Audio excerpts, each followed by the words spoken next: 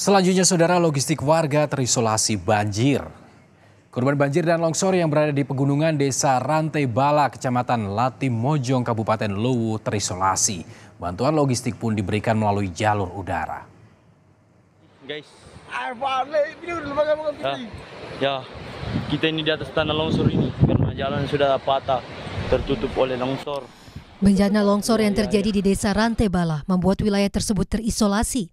Banjir dan longsor menerjang desa Rantebala, Kecamatan Latimojong, Kabupaten Luwu, Sulawesi Selatan sejak Jumat dini hari.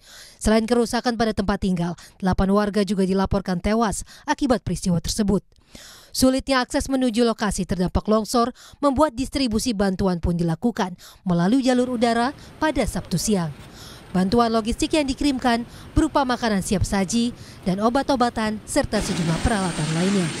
Bantuan disiapkan pihak pemerintah Provinsi Sulawesi Selatan bersama Pemda Luwu, Polda Sulawesi Selatan, dan TNI Angkatan Udara.